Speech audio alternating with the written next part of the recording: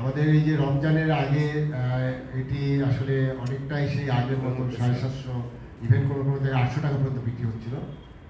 এই প্রেক্ষিতে আমরা যেটা দেখলাম যে খলিল আমার সাথে যোগাযোগ করল। এর মধ্যে আরও অনেক ঘটনা ঘটেছে আপনারা জানেন যে এই কম দামে মাংস বিক্রির জন্য রাজশাহীতে একজন মাংস ব্যবসায়ীকে হত্যা পর্যন্ত করা হয়েছে।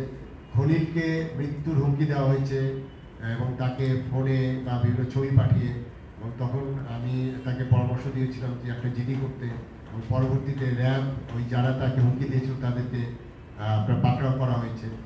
তো মূল বিষয়টা হলো যে, এইসব ভালো কাজের পক্ষে তো অনেক যারা এই মাংসের দাম বাড়িয়ে দেয়, তারা, তাদের একটা চক্র থাকে, সবসময় একটা প্রেশার ক্রিয়েট করে।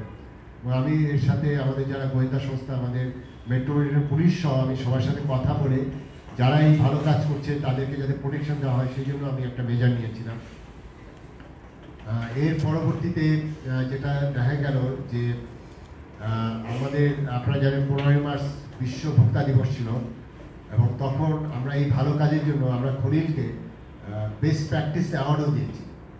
এবং সেটি কিন্তু এই ভোক্তা অধিকার সংরক্ষণ অধিদপ্তরের পক্ষ থেকে প্রথম আমরা আরও চারজন ব্যবসায়ী, তিনজন ব্যবসায়ীকে দিয়েছি, খলিল সহ চারজনকে। একজন দশ টাকা দামে দুধ বিক্রি করছে কিশোরগঞ্জে এবং একজন আপনার এক টাকা লাভে বিক্রি হচ্ছে চাঁদপুর থেকে। যে কোনো পণ্য এক টাকা লাভে বিক্রি হচ্ছে। আরেকজন আছে আমাদের এই ঢাকায় উত্তরখানে তিনি ক্ষুদ্র অংশ, যেমন একশো গ্রামও কোনো একটা পণ্য বিক্রি হচ্ছে। এই প্র্যাকটিসগুলো আসলে আমাদের মানে আসা উচিত এবং ব্যবসায়ীদের মধ্যে যেটা এটি উৎসাহ বাড়ায়, এই কারণে আমরা তাদেরকে বেস্ট প্র্যাকটিস অ্যাওয়ার্ড দিয়েছি। এবং খলিলের সহ আমি উজ্জ্বল নয়ন, তারা আবার এই রমজানকে উপলক্ষ করে তারা ছশো টাকার নিচে মাংস বিক্রি করবে এবং সেই প্রতিশ্রুতি দেওয়ার পরে আমি প্রতিটা জায়গায় গিয়ে তাদেরকে ফুলের মালা দিয়ে আসছি। এই বিষয়গুলো আমরা তাদেরকে উৎসাহিত করেছি এবং এরপরে দেখেছেন প্রথম রমজানের পর থেকে এই দোকানগুলোতে তাদের যে আউটলেটগুলো আছে, সেখানে কী পরিমাণ ভিড়? সেখানে তারা চল্লিশটা গরু মাংস বিক্রি করেও তারা মানে চাহিদা মেটাতে পারেনি।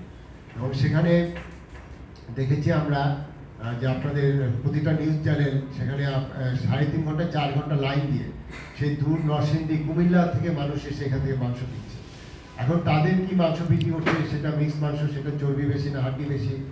আমি ওই বিতর্কে যাব না। আমি একটা কথাই আমি বলতে চাই যে সে- তারা ছশো টাকার নিচে যে মাংসটা বিক্রি করছে, সেই মাংস যদি খারাপ হতো, সেই মাংস যদি মানসম্মত না হতো, তাহলে দূর দূরান্ত থেকে কেন লোকজন আসছে? এবং সেখানে তারা অনেকটা বলব যে মানে কি ঠেলাঠেলি করে বাড়াবাড়ি করে পারলে এই খাতে মাংস কিনছে। এবং সেই জন্য আমরা স্পেশাল ওখানে আমাদের পুলিশ মোতায়েন করতে হয়েছে। এখন যে জিনিসটা দাঁড়িয়েছে, যে তারা একটা কমিট করেছিল যে টোটাল রমজানে বা একটা ডেট দিয়েছিল যে পনেরো দিন বা সাত দিন তারা এই পর্যায়ে মাংস বিক্রি করবে। এবং খলিল বিশেষ করে আমার সাথে তিন দিন আগে যোগাযোগ করল যে তার পক্ষে আর এটা চালিয়ে নেওয়া সম্ভব না। এই জন্য যে যে পরিমাণ তার এখানে চাপ এবং সেখানে গরুর দাম অলরেডি আরও বেড়ে যাচ্ছে।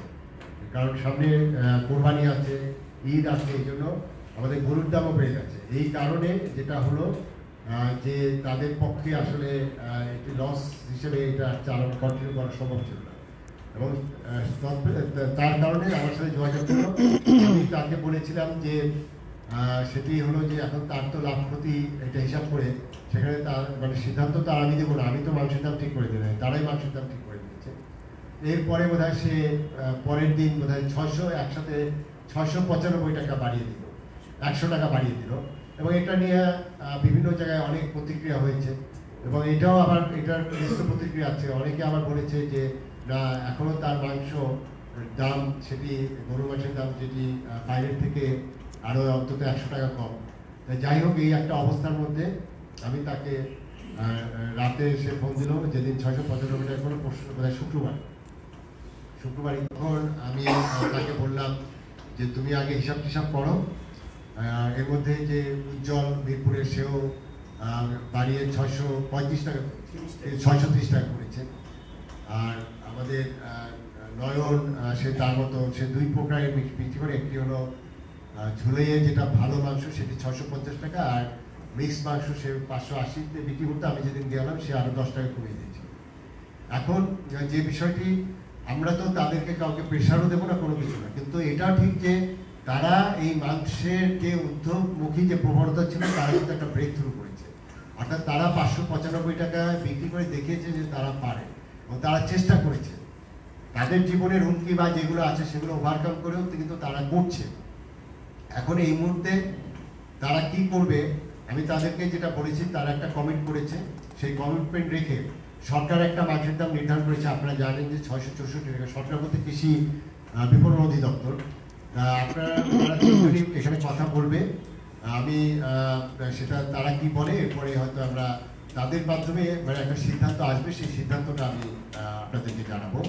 আমি আশা করছি যে নিশ্চয়ই সে যেটুকু আমি জানি যে হরিণ এই চল্লিশ টাকা করে গরু বিক্রি করে এই কয়েকদিনে তার একটা বড় ধরনের লসের মধ্যে পড়েছে। এখন সে কতদিন লস সে যদি লস দিয়ে চালাইতে পারে, সেটা তার বিষয়। আবার সে লাভ করবে কি না করবে, সেটাও তার বিষয়। সেখানে একটাই বক্তব্য আমার, সেটি হলো যে মানে তাদের যে রেট এখানে তো আটশো টাকা পর্যন্ত মাংস বিক্রি করছে, সাড়ে সাতশো টাকা করে মাংস বিক্রি করছে। সেখানে একটাই আমার বক্তব্য যে, তাদের যে রেট আছে সেটি যদি এখানে তো কেউ সরকার একটা নির্ধারণ করে দিয়েছে সেই রেঞ্জের মধ্যে থাকলে তারা ওই অর্থে আমাদের রেট ভায়োলেট করেনি, কিন্তু সেটা তারা ঠিক করবে যে কত টাকা বিক্রি করবে। আর সেখানে তাদের মাংসের কোয়ালিটি কি? এই কোয়ালিটির বিষয়ে অনেক প্রশ্ন